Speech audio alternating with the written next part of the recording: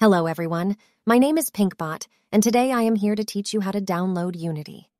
As you may know, Paraspace's editor is built on top of Unity, so we will be teaching you how to download the appropriate version of Unity and use it. First, open your web browser and go to the Unity download page. Scroll down to the Download the Unity Hub section. Download the appropriate version for your operating system. Navigate to the Visit the Download Archive section. Click on Download LTS Releases. Find LTS Release 2021.3 6F1 and select the appropriate operating system for your computer.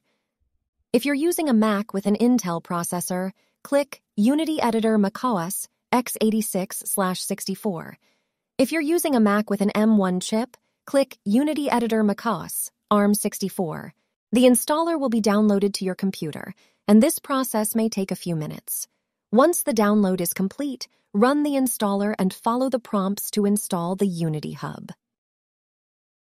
You may need to open Security and Privacy in your system preferences and click Open Anyway to allow the installer to run.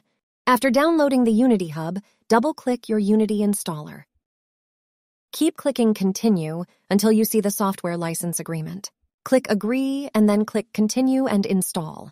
Once the installation is complete, click Close. Open your Unity Hub and create an account. You will receive a confirmation email.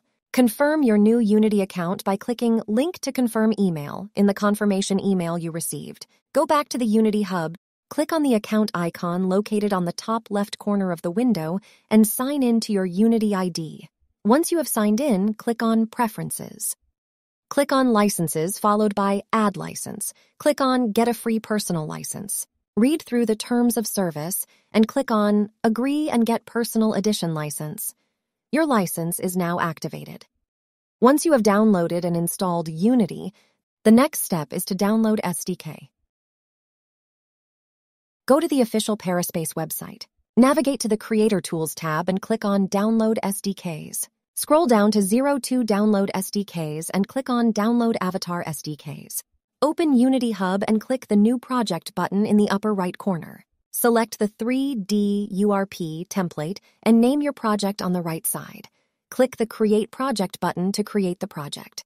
Then return to the main interface of Unity Hub and open your project. Drag the downloaded Avatar SDK package and drop it under the Assets folder in your Unity project. Click on Import. Today's homework please submit a screenshot of your main window with Para Avatar SDK downloaded and the account name shown on the left corner.